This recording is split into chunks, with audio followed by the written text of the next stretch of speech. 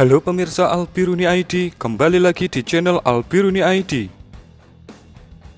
Pada video kali ini, kembali Anda menyaksikan video kabar utama Medan Laga, di mana video ini berisi kejadian-kejadian utama yang terjadi di Medan Laga Ukraina. Mari langsung saja ke video pertamanya. Pada video pertama ini, kita akan menyaksikan video kompilasi aksi dari Zala Lancet yang dipublikasikan oleh pasukan Rusia. Pada video kompilasi ini, ada sekitar empat serangan yang dilakukan oleh Lancet. Mari kita bahas satu persatu. Pada serangan pertama, sebuah AHS Crab disamarkan dengan sangat baik oleh pasukan Ukraina di balik pepohonan kering. Namun, pasukan intai Rusia dengan sangat teliti berhasil mendeteksinya. Kemudian, terlihat Lancet menghantam posisi AHS Crab itu dengan sangat akurat. Dan bisa dipastikan, dengan hantaman seperti itu, si kepiting asal Polandia itu harus pensiun dalam waktu yang cukup lama dari medan laga. Pada serangan kedua, terlihat sebuah SPH M109 yang walaupun tertutup oleh salju, tapi bentuknya masih terlihat sangat jelas. Kemudian, tanpa basa-basi, Lancet pun datang untuk memensiunkan M109 itu. Seperti yang Anda lihat, sebuah hantaman yang telak membuat M109 itu terbakar. Dan bisa dipastikan, M109 itu pensiun dari medan laga selamanya. Serangan ketiga, terlihat sebuah tank yang sepertinya itu adalah T64BV.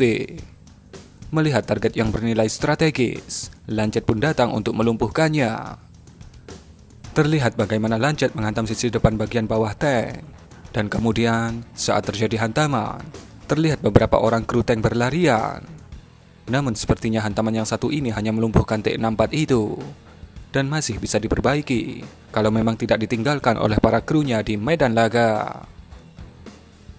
Serangan yang terakhir atau yang keempat, kembali sebuah SPH M109 berhasil terdeteksi oleh drone intai Rusia. Tanpa berlama-lama, Zala Lancet pun bermanuver untuk menghantam SPH itu. Dengan hantaman seperti itu, walaupun tidak membakar M109 itu, namun bisa dipastikan SPH M109 itu harus pensiun selamanya dari medan laga.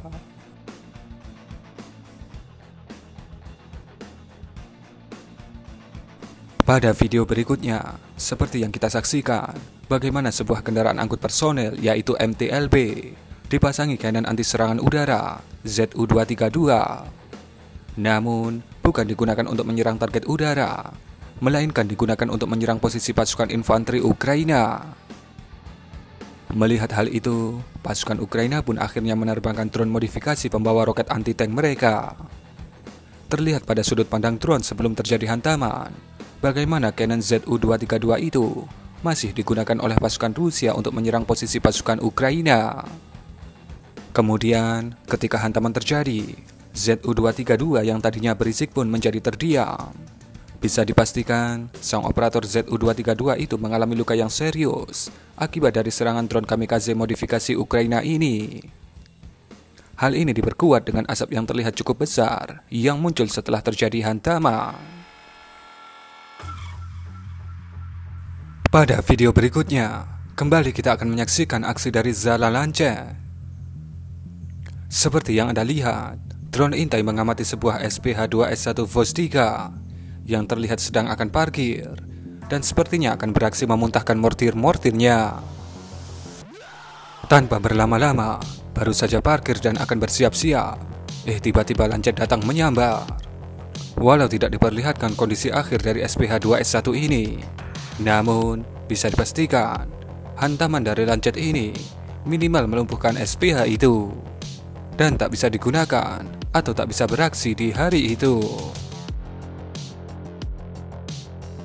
Pada video berikutnya, seperti yang Anda lihat, sekelompok pasukan Rusia terpantau oleh drone intai Ukraina sedang menempati sebuah rumah atau bangunan yang terdeteksi juga dijadikan sebagai markas sementara di sekitar sungai Dnieper. Mengetahui informasi itu, pasukan Ukraina pun menyiapkan kejutan bagi pasukan infanteri Rusia yang bersembunyi di rumah itu. Seperti yang Anda lihat, Hujan artileri mulai menghujani lokasi itu.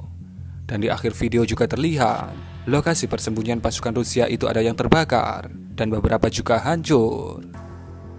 Namun, tembakan-tembakan yang meleset juga merusak rumah-rumah lain di sekitarnya. Namun penduduk di sepanjang sungai Dnipro sudah mengungsi saat pertama kali pertempuran di sepanjang sungai Dnipro terjadi pada awal-awal invasi dulu. Pada video berikutnya, ini adalah video yang cukup ekstrim yang menunjukkan kepada kita bagaimana cara khas Rusia dalam menyergap tank lawan.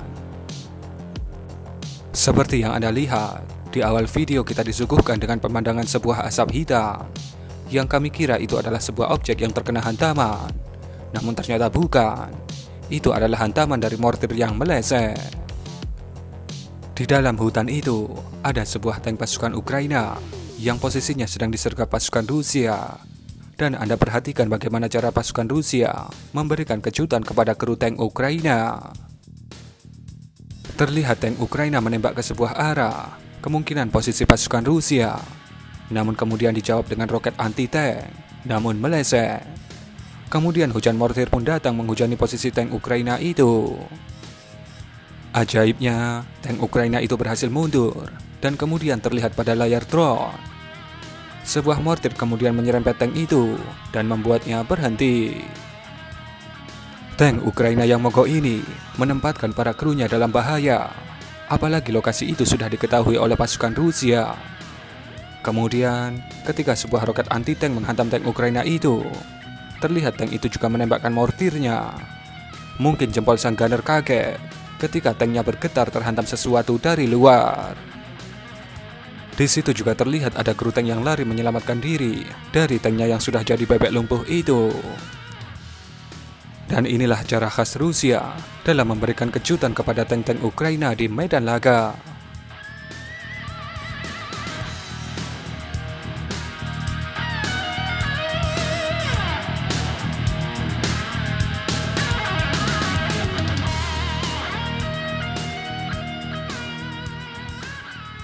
Ini adalah SPH-2S9 Nona Rusia yang berhasil teridentifikasi oleh drone intai Ukraina. Sepertinya SPH itu sedang tidak dioperasikan. Mungkin para krunya sedang istirahat, namun tidak dengan para pasukan Ukraina yang sedang bekerja menyisir wilayah operasinya ini, yaitu di Bahmut Barat.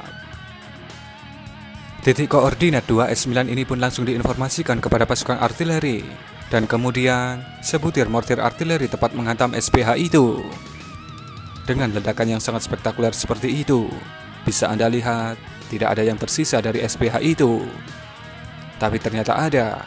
Itu adalah blok mesin yang tersisa dan terbakar dari SPH-2S9 Nona itu.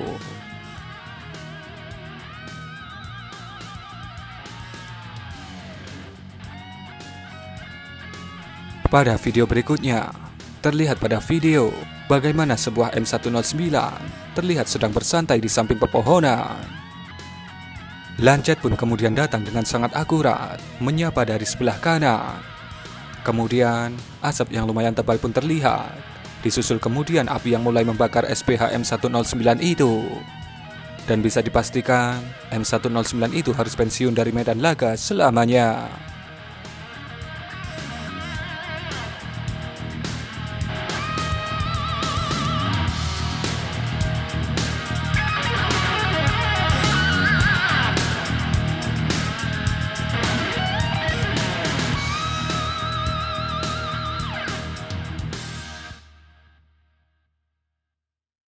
Kabar berikutnya adalah kabar mengenai meledaknya sebuah BMP-1 Rusia yang sedang ada di tengah padang rumput.